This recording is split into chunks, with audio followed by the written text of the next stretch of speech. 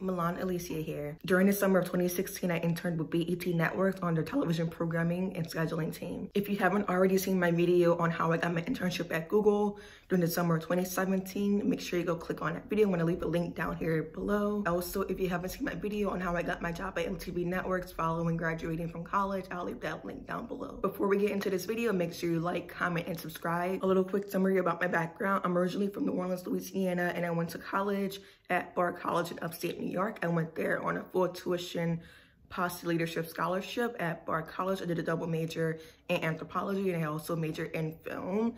And while at Bard, I had really amazing internship opportunities such as interning with Entergy, I interned with BET Networks, which is what this video is about. I interned at Google with YouTube and then following Bard, I got a job at MTV Networks. I applied to the BET Networks internship during the fall semester of my sophomore year of college. During that time in my sophomore year of campus, I was a Courage to be fellow at the Hannah Arendt Center for Politics and Humanities. With that, I was working on their speaker team, their video team, and doing a lot of media things for the center. I was also running Barton Television, which was a film production club on campus. I was serving as a sort of freelance photography and filmmaker. I was on some computer science things with the Bard Information Technology Center. I was sort of doing a lot on campus. And I knew that that upcoming summer, I wanted to really have an internship in television because prior to that, my first internship was in tech with Entergy, so I wanted to get a bit more media experience. As you know, I am a Posse scholar and a part of the Posse Foundation Scholarship is that Posse is partnered with lots of different career partners such as Google, NBC, Disney, Viacom, Discovery, Goldman Sachs, Bank of America, so forth and so on. One day I went to the Posse website and I went on the internship section and I saw that the internship applications for Viacom was open. I'm not sure if the application for Viacom is different now than it was when I applied, but when I applied, Posse asked you to rank which department you would want to work in. So I put like television production first, I put uh, television development second, and I put television programming third and you don't necessarily pick which network you want to work with. They sort of do that for you. For those of you not familiar with the terms, television programming is basically when a network or radio station orders, programs, and schedules content in a daily, weekly, monthly, and quarterly schedule. Television development is when you brainstorm and create new ideas for a network, whether that be in a show, a stunt, starting from zero. And production is in essence production, being on set, things like that. I wrote a couple letters to Posse and I CC'd the Viacom recruiter and I wrote that I would like to intern in these three departments, production, development, and programming. I also listed what potential networks I would like to work with. So I put BET Networks, MTV Networks, VH1, Comedy Central, Nickelodeon, and so forth and so on. The application process was really quick. So I submitted that email. Then about a week later, I received an email from an assistant on the BET Network television programming team. And she was like, hi, Milan, we received your email and your cover letter and your resume. Would you like to have a quick phone interview with us? I replied and said, I would be delighted to interview with you on the phone uh, about the BET Network television programming team. A few days later, I had that phone interview with someone from the BET Networks team. And during the phone interview, they asked me a lot of questions on my knowledge of television programming.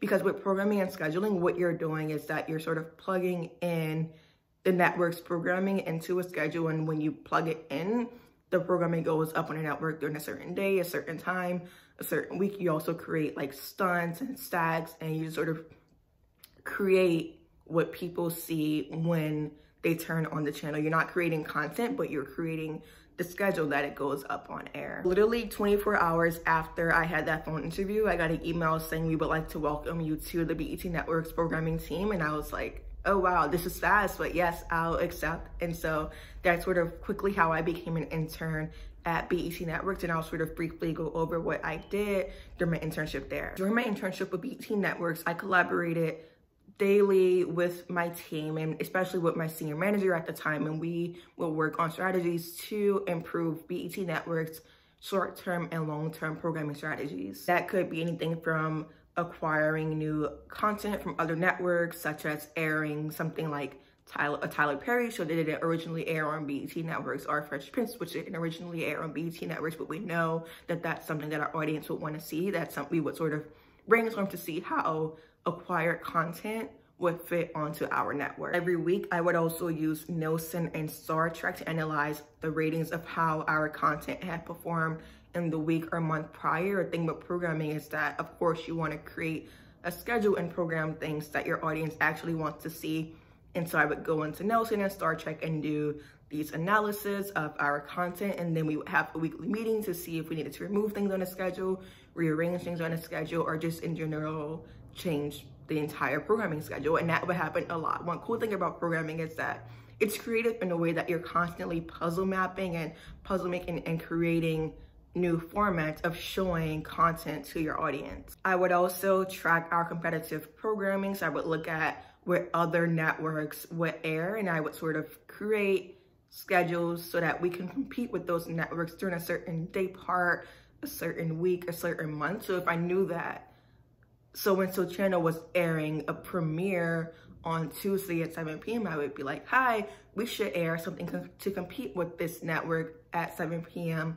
on next Tuesday. So it was sort of great to be able to see what other networks were airing, what their ratings were, and how we could compete with that effectively to make sure that BET Networks was also getting that viewership that other networks were getting. I also worked on some projects where I would help to create SAGs and stunts for the networks. SAGs are sort of when programming is organized consistently at a day time throughout the week and a stunt is sort of like a marathon. For example, my manager asked me to research some stunts for the upcoming holiday season, which was cool because one of my stunts actually made it on air. So for that Thanksgiving of 2016 in November, I researched a Nutty Professor stunt. I was like, we should air all the whatever Nutty Professors that we have in our programming book, we should put on air for Thanksgiving because it's a family show, it's a black family show, and people would want to watch that. And so during that Thanksgiving when I was home with my family, we turned on BET networks and behold, we saw the Nutty Professor on air. The thing with programming is that you can actually see your work have an impact immediately. So if you schedule something to air the following day or following week on Wednesday at 8 p.m. and you turn on the network that next Wednesday at 8 p.m. and you see what you scheduled on air, it's a very rewarding feeling. That is what I did at BET Networks in a nutshell the majority of the time, it was a lot of collaborating with my team on creating programming schedules, creating decks and things of that sort. The team at BET Networks was very helpful and supportive. And I still sort of see some of them in the office today since I'm currently at Viacom with MTV Networks. And so whenever I see them, I'll, you know, say hi, shake up a quick conversation. And so it's great to still have that support even two, no, even three years later when I'm not even an intern there anymore. This is BET Networks.